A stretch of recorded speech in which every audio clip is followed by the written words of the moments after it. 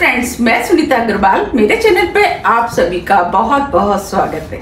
तो आज हम बनाएँगे बहुत ही ज़्यादा टेस्टी रेसिपी तो चलिए बनाना शुरू करते हैं। आज मैं आपको झटपट बनने वाली बहुत ही ज़्यादा टेस्टी मिठाई बनाना बताती हूँ, कैसे बनाई जाती है। इसे हम घर में रखी हुई चीज़ों से बना करके तैयार करेंगे। जब भी आपकी मीठा खाने की इच्छा है, आप इसे बना सकते हैं। तो चलिए देख लेते हैं इसे कैसे बनाया जाता है। मिठाई बनाने के लिए ये हमने आठ से 10 ब्रेड के स्लाइस लिए हैं। ब्रेड आप कोई भी इस्तेमाल कर सकते हैं, जो भी खाना पसंद करते हैं। ये हमने ब्रेड स्लाइस लिए। इसे हम कुकी कटर से गोल काट लेते हैं। अगर आपके पास कुकी कटर नहीं है तो आप किसी भी कटोरी या ग्लास से भी इसे काट सकते हैं।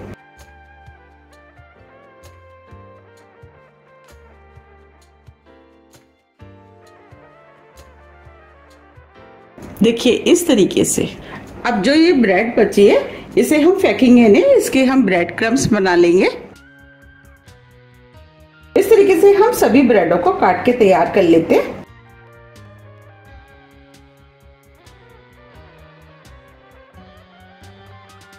ये हमने ब्रेड की सभी स्लाइस काट के रख ली हैं।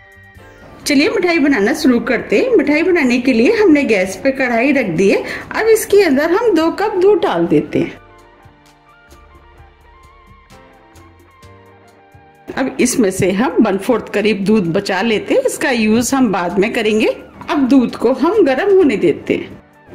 अब जो हमने वन फोर्थ कप दूध बचाया था, उसे हम इस बॉल में डाल देते हैं। अब इसके अंदर दो टीस्पून वनीला कस्टर्ड पाउडर डाल देते। कस्टर्ड पाउडर को दूध में अच्छे से मिक्स कर देते। अब ये कस्टर्ड पाउडर दूध में अच्छे से मिक्स हो गया है। इसे हम साइड में रख देते हैं और दूध को देख लेते हैं। अब इधर दूध भी बॉईल हो गया है। अब फ्लेम को हम स्लो कर देते हैं। अब जो कस्टर्ड पाउडर हमने दूध में घोला था, उसको हम थोड़ा थोड़ा करके डाल देते हैं और चलाते जाते हैं जिससे कि इसमें लम्स ना पड़े।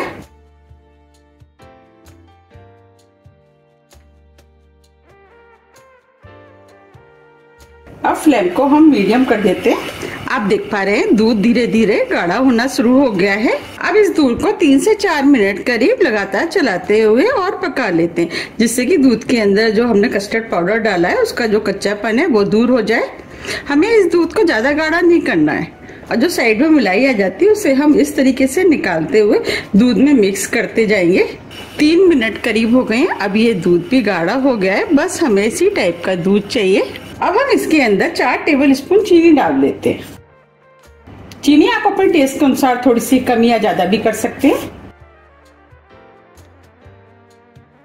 चीनी को मिक्स कर देते हैं और दूध को दो मिनट करीब और पका लेते हैं। हमें दूध को पकाते समय ध्यान रखना है कि दूध को नीचे तली तक चलाते हुए पकाना है, जिससे कि दूध नीचे तली में ना लगे। दो मिनट करीब हो गए हैं, अब चीनी भी मेल्ट हो गई है और दूध भी गाढ़ा हो गया है। अब इसके अंदर वन फोर टी स्पून छोटी इलायची डाल देते हैं। इलायची को मिक्स कर देते हैं। आप इलायची की जगह गुलाब जल का भी इस्तेमाल कर सकते हैं। अब हम फ्लेम को ऑफ़ कर देते हैं। दूध को हल्का ठंडा होने देते हैं। जब तक दूध ठंडा हो रहा है, हम आगे की तैयारी कर लेते हैं। उसके लिए हमने गैस पे पैन रख दिया है। अब इसके अंदर चार बड़े चम्मच हमने देसी घी डाल दिया है। आप देसी घी की जगह ऑयल का भी इस्तेमाल कर सकते हैं। अब घी को हम गर्म होने देते हैं। अब ये घी गर्म हो गया है, हमें मीडियम गर्म घी चाहिए। अब जो हमने ब्रेड के स्लाइस काटे थे, वो हम इस घी में डाल देते।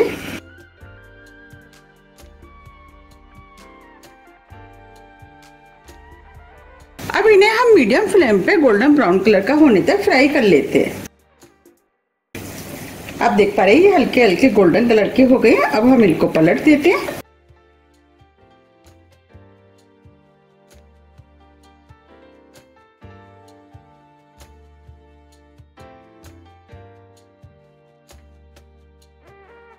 हमें इन्हें दोनों तरफ़ से क्रिस्पी होने तक फ्राई करना है। फ्लेम को हम मीडियम ही रखेंगे। अगर हम तेज फ्लेम पे इनको फ्राई करेंगे तो ये जल जाएँगे।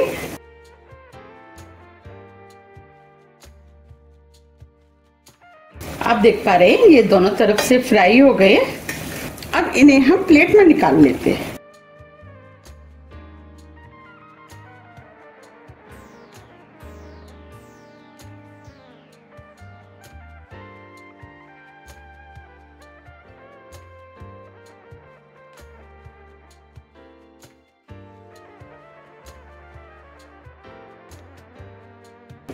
देखिए, कितने बढ़िया फ्राई हुए हैं। अब जो बचे हैं, उन्हें भी हम फ्राई कर लेते हैं।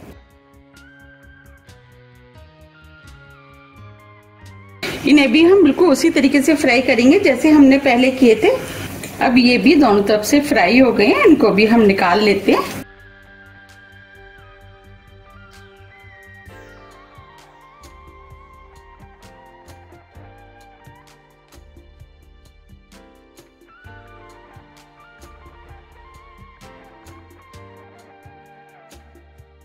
चलिए, अब हम इनको सर्व कर लेते हैं।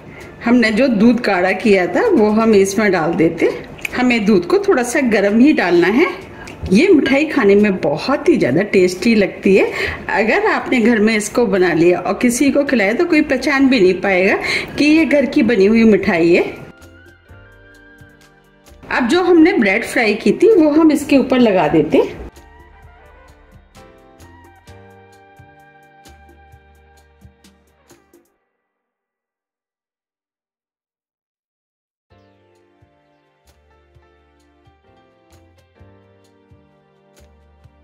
अब इसके ऊपर हम दोबारा दूध डाल देते हैं। हमें दूध को थोड़ा सा गर्म ही डालना है, जिससे कि दूध अंदर तक अच्छे से चला जाए।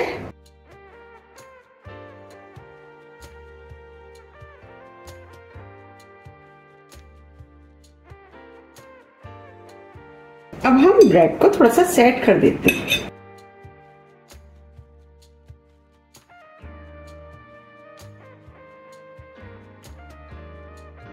इसके ऊपर हम ड्राई फ्रूट डाल देते हैं। उसके लिए ये हमने बादाम लिए हैं, वो डाल देते हैं। ड्राई फ्रूट आप कोई भी इस्तेमाल कर सकते हैं, जो भी आप खाना पसंद करते हैं। थोड़े से पिस्ते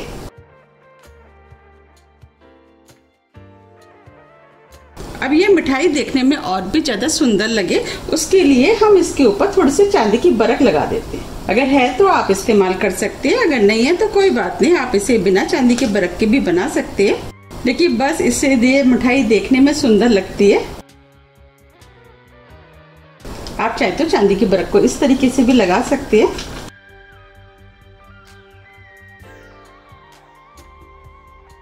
देखिए, ये मिठाई देखने में कितनी सुंदर लग रही है। अब हम इसे आधे घंटे के लिए फ्रीज में ठंडा होने के लिए रख देते हैं, क्योंकि ये ठंडी होने के बाद खाने में बहुत ही ज़्यादा टेस्टी लगती है। आधा घंटा करीब हो गया है, हमने इसे फ्रीज में से निकाल लिया है। अब मैं आपको दिखा भी देती हूँ कितनी सॉफ्ट और जूसी बन के तैयार हुई है। अब इसमें से हम एक पीस ले लेते हैं।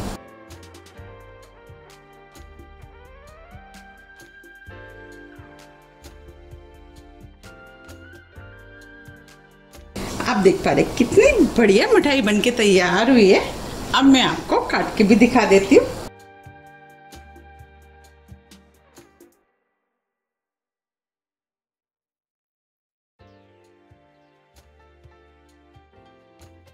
देखिए, कितनी सॉफ्ट और जूसी बन के तैयार हुई है और ये देखने में कितनी सुंदर लग रही है। और ये खाने में भी बहुत ही ज़्यादा टेस्टी लगती है। तो आप भी इसे बनाइए और खाइए। फिर मुझे कमेंट्स करके ये ज़रूर बताइए कि आपको ये कैसी लगी। अगर आपको मेरी रेसिपी थोड़ी भी पसंद आती है तो रेसिपी को लाइक कीजिए चैनल को सब्सक्राइब कीजिए और ज़्यादा से ज़्यादा शेयर कीजिए। अब हम फिर मिलते हैं इसी तरह की टेस्टी रेसिपी के साथ। जब तक के लिए नमस्कार।